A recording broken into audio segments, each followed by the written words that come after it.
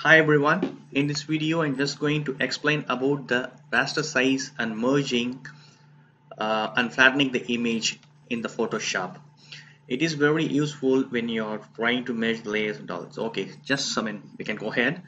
Uh, here in this layer I have uh, two images I have grouped. For example, if you click this, you can see this this has been grouped here. Group you can do any layers in group. I mean click that uh, images and just dropping it into the folder. It is called grouped. Okay. Now I show you the uh, rasterize for example this image I am clicking now um, go to this um, before that you need to convert it as a smart object. I am going to convert this as a smart object. You can see the changes here now go to this layer and go to the smart objects. This rasterize will be enabled. If you rasterize, um, the quality will be less if you're maximizing the images. See the quality, how this quality is now. If you're maximizing it.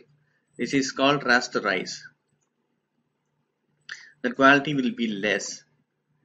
If you don't want you can see this also. When you try to rasterize the uh, layer that smart objects has been changed now.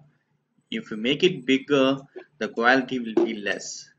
So I'm just going to give undo now.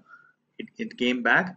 Then I'm going to show this merging the layers. Merging the layers is nothing but all the layers within the uh, all the images or documents within the layers for example, we have this tube. For example, this image and this, this Dalmatian image I have. I am going to merge this layer. Uh, if you merge this one, you can right click and do the merge layers. Um, merge layers. See, that has become as a single layers. If you move, that will work in a single image. Once you have merged, you can do it as a single layer, whatever you want to do. Now this has been single layer. Now I am going to make this, I mean uh, merge all these layers here. For example, I am just giving, um, um, holding shift, a control and selecting this. All images I have set. If you go and merge, sorry, if you merge this layers it will be in single layer. See this one? It has now come to a single layer now. So what I'm going to do is if you want to set this and as an image to flatten this you can go to this image flatten the image. See it's set as a background like a single layer. If you want to save this an image you can save or you can keep it as a .psd files. But when you save give the save as button. You need to select some, uh, some options here. Here you can see save as a copy. I am choosing this as an um, JPEG file. Here as a copy save. You can see this uh, preview also uh, if you want to click the preview you can see control plus I mean to maximize this uh, background. So here it's 25% only.